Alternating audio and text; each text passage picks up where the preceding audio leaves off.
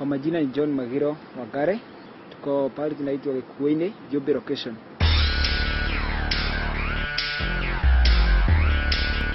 Project yangu inaitwa Magiro Power Hydroelectricity. Hebu niseme hii project nilianzia back in standard 4 ndipo nilianzia mambo ya kufikiria mambo ya stima.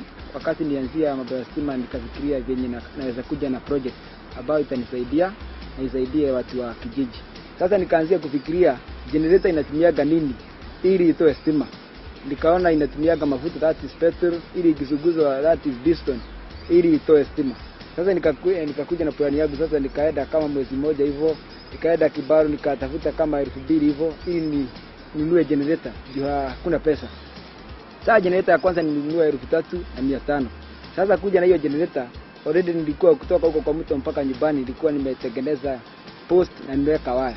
Sasa nilikuja nayo nikainunulia mafuta lita moja that is 150 nikaipeleka kwa mto. Kwenda nyumbani nikaangalia ama inafikisha moto. Juu kuna watu wanasemaga there is a resistance. Hiyo mambo ya resistance sasa nikasema hakunaga. Juu mimi nili, nilienda nikajaribu nikaona hakuna. Sasa nikaenda kwa project tena nikarudi huko kwa mtoni nikapata na generator yangu. Sasa nikakuja nikaitoanisha kila kitu, sasa nikaiweka chini. Nikuja na plani ambayo itakuwa haitumii mafuta lakini inatumia maji through turbine.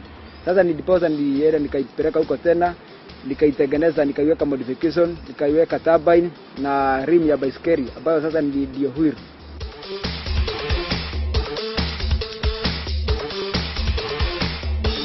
Sasa nikaenda nikanunua dynamo ambayo nilianzia kufikiria zenye inatumika, nikaiona ikiwa kwa baiskeli.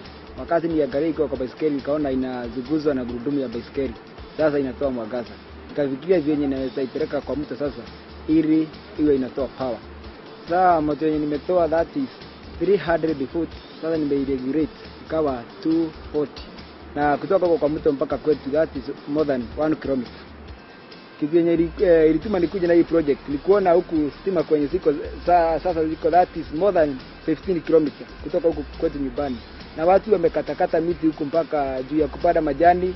Sasa mpaka wanatumia kuni, mpaka mambo ya mafuta imekosekana. Kuendea mafuta sasa, walikuwa wanaendea mafuta huko Kagema.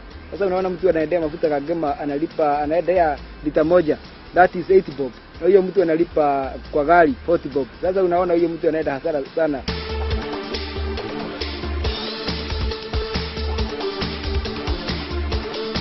Sasa watu wenye nimepea that uh, 25 sasa watu wenye wakijiji wanatumia, bado nimeweka kwa barabara security light za usiku.